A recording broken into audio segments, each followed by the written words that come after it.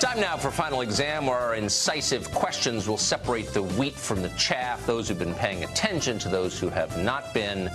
This week's defending champion, Fox News weekend anchor Elizabeth Prann, who undid Peter Doocy after his short reign last week. Her challenger tonight, Brett Larson, Fox News headlines 24 7 anchor, a frequent tech correspondent for the show, and an excellent one.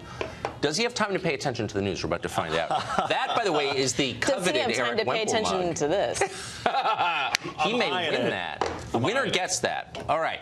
You you know the rules, Elizabeth, because you're the reigning champion. Brett, I'm sure you're a weekly uh, viewer of this, but in case those at home don't know, hands on buzzers. I ask the questions. First one to buzz in gets to answer. You have to wait until I finish asking the question in order to answer it.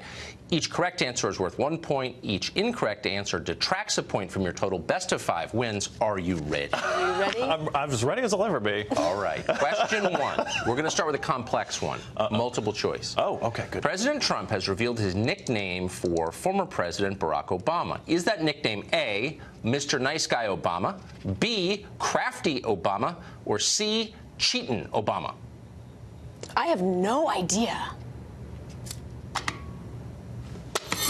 Oh, I'm going to go with cheating Obama. You're going to go with cheating Obama. Cheatin. Cheatin'. N apostrophe Obama. Is Mr. Larson correct? Roll tape.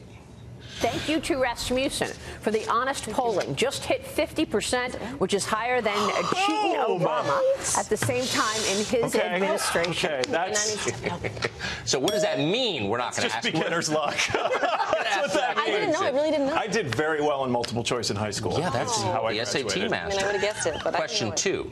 A CNN reporter went off the deep end this week and started yelling in front of kids at the White House Easter egg roll. Which reporter was that? Elizabeth Prann. Jim Acosta? Jim Acosta, chief White House correspondent at CNN. Was it Jim Acosta, ladies and Am I gentlemen? right?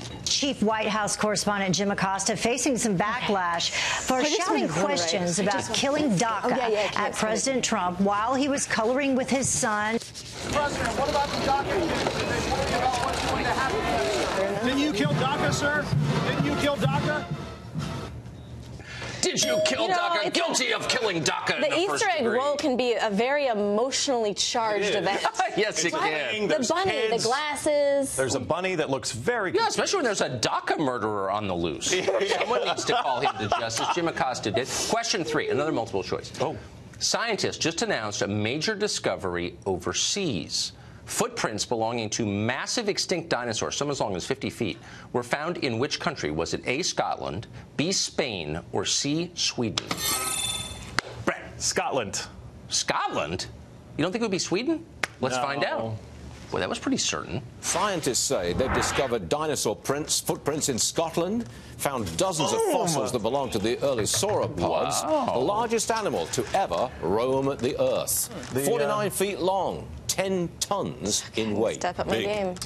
The sauropod, a fan of beer. Oh, what? Thus found in Scotland. Are you? I'm impressed. I am- Nessie Prince. Wow. Hang on to Okay. Question. Hold on tightly, Elizabeth Prince. Jeez. Two to one. Question four. Steven Spielberg says he may reboot, remake one of his big 1980s franchises and change the iconic male lead to a female. Which well-known character is he talking about? Brett Larson. Indiana Jones. You're in fuego tonight. Yes, Indiana you Jones, no hesitation at all. Was it Indiana Jones or is it E.T.? We'll find out. Big time Hollywood director Steven Spielberg says it's time for a woman to play one of his most iconic movie characters. I thought it would be Tomb Spielberg Raider, but- believes Indiana Jones is ready to take on a new form when Harrison Ford steps away from the role. Oh, I just Wow. don't know if you could. Can it be, would it be a skirt? Like, how would that work? Well, that's right. Will they and really, the the question music? should have been phrased, having run out of any new ideas, comma. Yeah, Rocky that- ball, yeah, that, Yeah. right. E.T. doesn't phone home anymore. He sends a text Yes, he does. by way Creepy of little WhatsApp. guy. Like slaps, yeah. Yeah. All right, final question of the contest, indeed of the oh, week. Oh, no. This is one of the weirder stories we've ever covered, covered with quotation marks around it.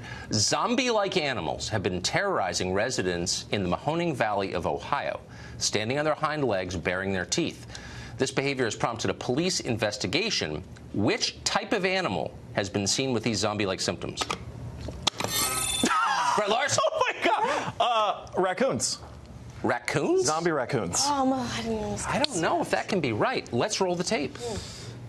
Zombie raccoons. In the past week, Youngstown police have responded to more than a dozen You know calls and of I- bizarre I- and I'm your behavior most during the loyal day by these viewer. ordinary The nocturnal critters. viewer. According to one eyewitness, a raccoon has walked up to him as he walked his dog, reared up on its hind legs, and then poised to attack, abruptly fell back as though having a seizure. Zombie Raccoons. raccoons. I know, That trust me. actually was going to be the Steven Spielberg movie. Zombie raccoons. that would great. You know? And by the way, all those wildlife I think I experts, watch they're Indiana never seen during the day a totally skirt. false. Elizabeth Prann, you were a fantastic Oh, wow. champion for a week. Did you throw it on purpose? Brett, we may have uh, discussed Elizabeth's this. going to award you the I know I'm coveted going to mug. because I only got one right. Oh my gosh! I'm a little embarrassed. It takes There a you lot go. I'd like to thank the embarrassed, but I'm a Academy. and all the little Uh, people I'd who like made to it thank the possible. 24/7 We will see you next week. Brett Larson, congratulations. Oh, and I'd like to thank Elizabeth Prann. Elizabeth, you are uh, always welcome back, just on uh, principle. That's it for tonight's final exam. I'm not sure what principle.